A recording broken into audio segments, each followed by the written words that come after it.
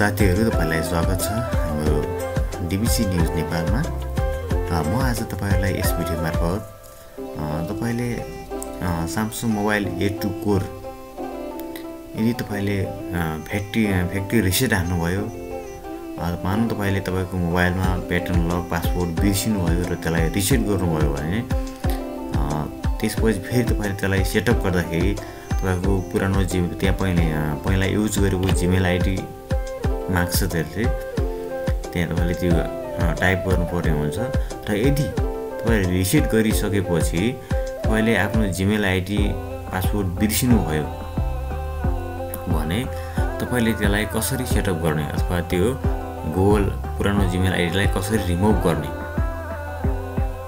एफआइआरपी unlock भन्छ खास त्यसलाई।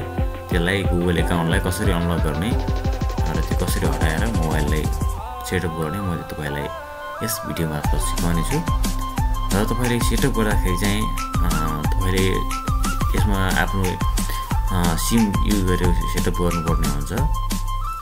तपाईँले सिममा चाहिँ एनसिएलको नमस्तेको जुनसुकै सिम भए पनि हुन्छ तर तपाईँले सि सिममा चाहिँ पिन नम्बर राख राख्नुपर्ने हुन्छ। र यदि पिन नम्बर तपाईँले सिममा राख्नु भएन भने त्यसले काम गर्दैन।